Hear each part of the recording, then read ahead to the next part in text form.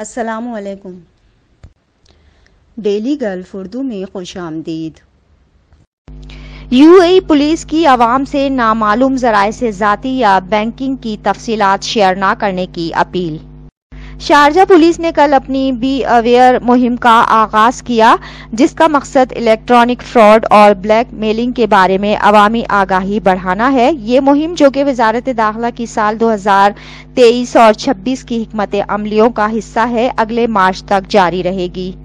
Sharjah police की media and public relation department के deputy director lieutenant colonel Mohammed Butti Al Hajri ने महकमे की जानब से सिक्योरिटी मुहिमात को तेज करने की ख्वाहिश पर ज़ोर दिया, जिसका मकसद रिहायशियों में साइबर क्राइम्स के बारे में बेदारी पैदा करना है।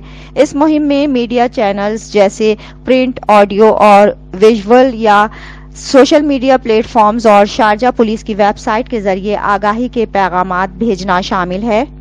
अल हाजरी ने मजीद कहा कि ये पैगाम हिदायत पर मुश्तमिल होंगे। बशमूल किसी के साथ जाती या बैंकिंग की मालूम का इश्तराक न करना, गुमनाम या गैर मोतबर कॉल्स का जवाब न देना, जो खसूसी बैंकिंग मालूम जैसे ओ टी पी कोड की दरख्वास्त करती हैं। इसके अलावा ऐसी ई मेल्स खोलने से गुरेज करें, जिनमें नामालूम लिंक्स शामिल हों। शारजा पुलिस के media and public relation department के डिप्टी डायरेक्टर ने कम्युनिटी मेम्बरान से मुतालबा किया कि वो अपनी ज़ाती या बैंकिंग मालूम तक रसाई हासिल करने की कोशिश करने वाली कॉल्स और पैगाम का जवाब ना दे और किसी से भी भत्ताखोरी की इतला फौरी तौर पर हमाया के ज़रिए या हंगामी सूरत हाल में number zero six five nine four three double two eight या नाइन नाइन नाइन पर या फ़ोन कर कर रबता करें। अब तक के लिए इतना ही। अगले बुलेटिन तक के लिए खुदा हाफिज़।